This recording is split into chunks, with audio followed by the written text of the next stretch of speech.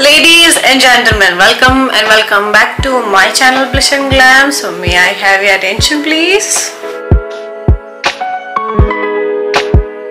So मैं share कर रही हूँ आज आपके साथ एक D I Y hair conditioner Diwali की आ, सफ़ाई में और दिवाली में फेस्टिव्स में ध्यान रखा कि नहीं रखा? कईयों ने रखा होगा बट कईयों ने नहीं रखा होगा।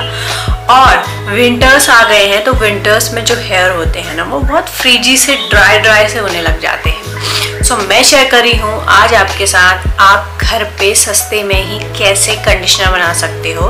कंडीशनर एक ऐसी चीज़ है ना जो इंपॉर्टेंट uh, तो है बट वो समटाइम्स यू नो थोड़ा सा कॉस्टली फील होता है ऐसा। और क्वांटिटी मेरे हिसाब से तो मुझे तो मेरे बालों पे ज़्यादा लगती है। तो ये वीडियो उनके लिए है जिनके बाल लंबे हैं घने हैं मोटे हैं जिनको बालों में क्वांटिटी ज़्यादा लगती है जिनके बाल बहुत फ्रिजी हैं उनके लिए ये बेसिकली ये वीडियो मैं बना रही हूँ। सो आई होप आपको पसंद आए पसंद आए तो क्या करना है? लाइक करना है शेयर करना है सब्सक्राइब करना है। सो वीडियो स्टार्ट करते हैं और देखते हैं कि मैंने इसे कैसे बनाया है, कैसे यूज़ करना है और इसे आप बना के स्टोर भी कर सकते हो। सबसे पहला इंग्रेडिएंट लेना है राइस वाटर सो मैंने रात को ही सोक करने के लिए रख दिया था राइस और मॉर्निंग में मैं इसे यूज़ कर रही हूँ।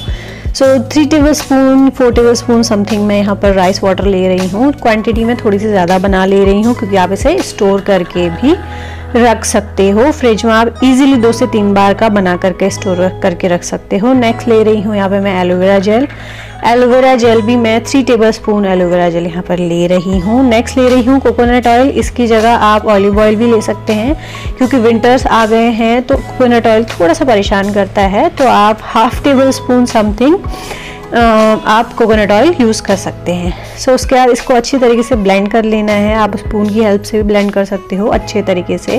ये सारे ही इंग्रेडिएंट हेयर के लिए बहुत अच्छे हैं स्मूथ बनाते हैं हेयर को शाइनी बनाते हैं। राइस है इसमें एलोवेरा जेल है ऑयल है। ये सारे ही इंग्रेडिएंट ऑयल आपका कंडीशनिंग का काम करते हैं।